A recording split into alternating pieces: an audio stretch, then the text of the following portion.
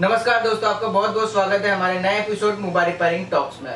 दोस्तों, आज मैंने कोई मोबाइल रिपेयरिंग का टॉक्स नहीं बनाया है। आज के दिन बस मैं आपसे एक पोल लेना चाहता हूँ। आज संडे है, मैं आज से आप सभी से मैं पोल एक लेना चाहता था कि मुझे मोबाइल रिपेयरिंग टॉक्स कंटिन्यू रखना चाहिए या नहीं रखना चाहिए। काफ़ी दिनों से मैं ये सोच रहा हूँ कि मुझे क्या करना चाहिए। तो मुझे आप बताइए मुझे क्या करना चाहिए? मुझे मोबाइल रिपेयरिंग टॉक्स कंटिन्यू रखना चाहिए या नहीं रखना चाहिए? अगर रखना चाहिए तो मुझे और इसमें क्या नया करना आ, करना चाहिए? इसके साथ ही साथ मुझे ये बताएँ कि अगर लाइव सेशन रखें तो उसे हम कैसे रख सकते हैं? अगर हम लाइव रखें तो यूट्यूब पे रखें या फेसबुक पे रख सकते हैं?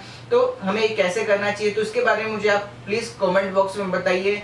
आप एक आपके पोल के हिसाब से ही हम, आ, मैं आगे कंटिन्यू करने वाला हूँ वीडियोस अगर आप बोलते हैं आ, कि मुझे मोबाइल रिपेयरिंग टॉक्स कंटिन्यू रखना चाहिए तो उसमें और मैं क्या बेहतर करूँ और क्या नया करूँ आप मुझे प्लीज़ इस वीडियो में सजेस्ट करें। तो नीचे प्लीज़ आप कमेंट बॉक्स में बताइए मुझे क्या करना चाहिए। तो दोस्तों इस वीडियो में बस यही था।